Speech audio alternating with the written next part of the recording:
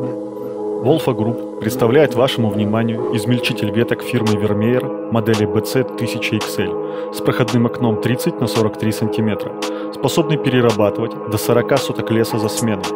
Wolfa Group – это гарантия надежности, качества и высокой скорости исполнения работ. До встречи на ваших объектах!